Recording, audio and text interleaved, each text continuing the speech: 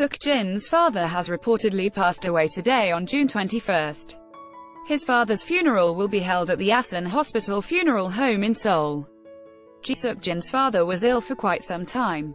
When he won an award last December at the 2017 SBS Entertainment Awards, Ji Suk-jin revealed that his parents' health were not doing well. My mother and father are not feeling well. I feel they will be happy when they see me win this award, and I'm glad that I can be filial to them in this way. Ji Suk-jin broadcast staff members confirmed that he will be unable to participate in his live broadcasts in order to prepare for his father's funeral.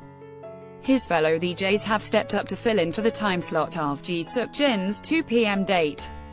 Kim Shin Young will take over from 2 p.m. to 3 p.m., and Kim Hyun Chul will take over from 3 p.m. to 4 p.m. Filipino Momoland fans are going to love their BAAM music video.